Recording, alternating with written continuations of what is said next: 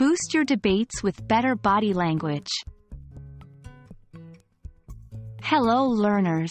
Welcome to our video on improving body language for effective communication. Communication is not just about the words you say, but also about how you say them and what your body is doing while you say them.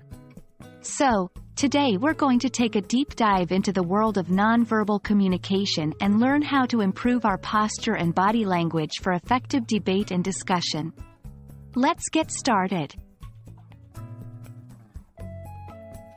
Body language is an essential part of communication.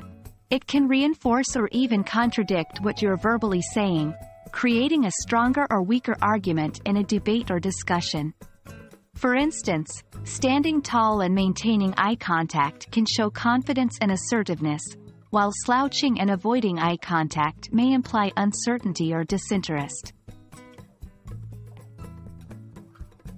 A good posture projects confidence, openness and readiness to engage. Here are some key points to remember. Stand up straight. This communicates confidence and respect for your audience. Relax your shoulders. Tension in your shoulders can make you appear nervous or uncomfortable. Keep your head up. Looking downwards may give the impression that you're not fully engaged in the conversation. Positive body language can enhance your arguments and engagement with the audience. Here are some key practices. Maintain eye contact.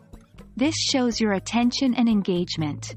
But don't stare, that can come off as aggressive. Use your hands. Gestures can help express your points more vividly.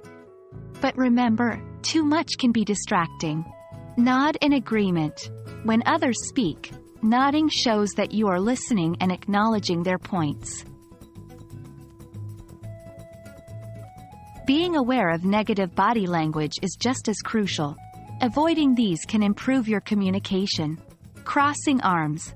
This can appear defensive and closed off. Keep your arms relaxed at your sides instead. Fidgeting. This can distract your audience and make you seem nervous.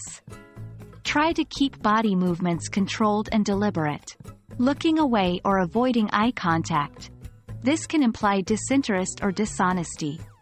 Aim to maintain regular eye contact with your audience. And there you have it. That's a brief overview on how to improve your body language for effective communication. Remember, good posture and positive body language can strengthen your debates and discussions. So, start practicing these skills and watch your nonverbal communication improve. Hope this video has been helpful. See you in our next session.